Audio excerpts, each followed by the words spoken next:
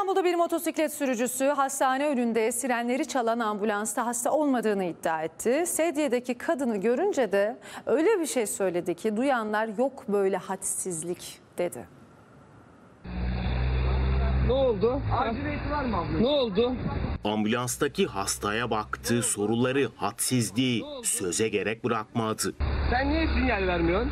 Hadi He? gel. Bu kadınla ne alakası var Ne sinyalin? ne alakası? 112 ambulansı hastasıyla Bahçeli Evler'deki özel hastanenin girişine yanaşmıştı. Şoför park ederken arkasından bu motosikletli yaklaştı. Ambulansın içinde hasta olmadığını iddia ederek sağlıkçılara küfretmeye başladı. İki sürücü tartışmaya tutuştu. Genç ambulansta hasta olmadığını savundu. Bakalım göstereyim sana. Tamam göster.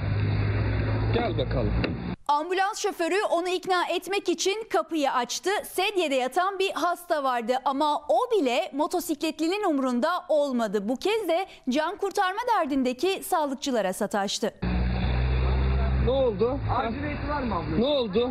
Ne ne alakası var? Evet. Hasta hastaneye giriyor bak. Sıra dışı tartışma bu görüntüyle noktalandı. Akıllardaysa tek bir cümle kaldı. Ne oldu? Aciliyeti var mı abla? Ne oldu?